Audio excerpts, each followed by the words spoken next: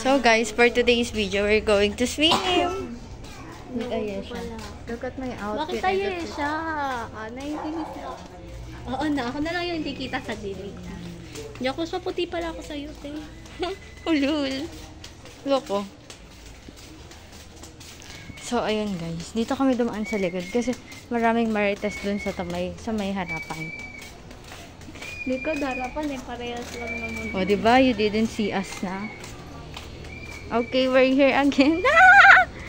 guys, alam niyo ba, dito niya ako hinihintay kapag umaga. Kapag sabay kami papasok ng school. Hmm, ano ba? Video, video ko papakita pa. Diyan.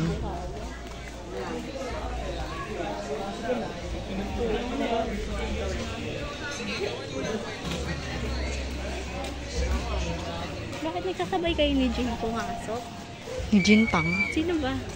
JD. Kaya nga ni Jin nga. Oo. JD Jin.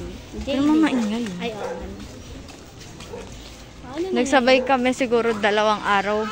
Dalawang araw o tatlo. Pero alam ko dalawang araw. Hindi ko alam. Nung ano lang yun. A April? Si Saan? Nasaan? Ayun nga si Joven. Nakapatay. Ay, akala ko siya yun.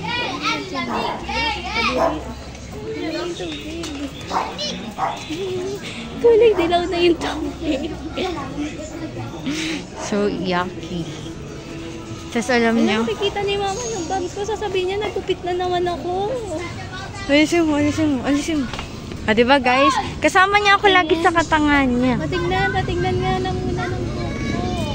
Patingin ako. Alata tang.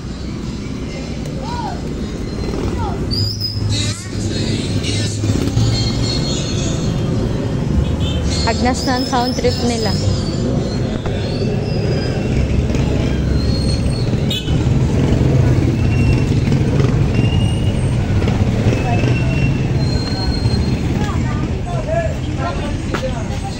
Ayaw nga na grocery. Tatay ko lima.